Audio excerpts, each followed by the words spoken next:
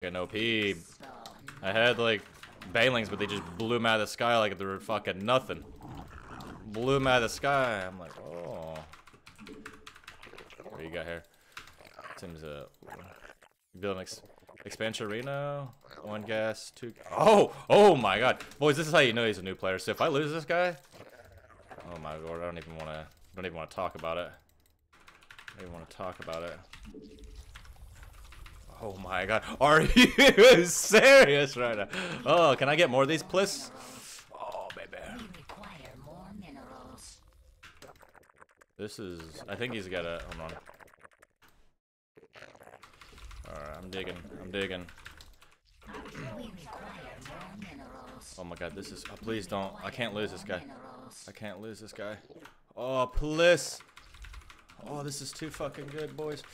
Oh, blue flame banelings. oh, little juke on you, baby. Little juke. Oh, this is like going against Jester. It's not even fair.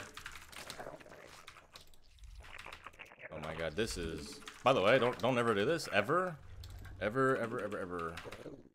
Like this is this is a joke. oh shit, this is. Uh.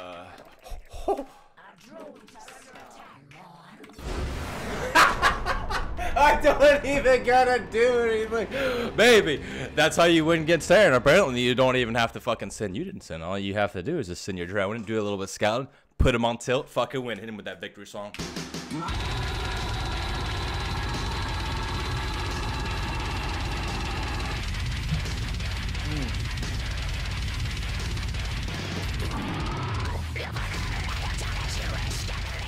Jester, I don't know what you're talking about, but Zerg is hard. You just saw how OP it was in just this short of a game. How OP it is. I didn't have to do anything. Hit a few injects, circle around his base, to fucking win games. I don't know what I don't know what you're talking about. What you're talking about. Grandmaster here shortly, buddy.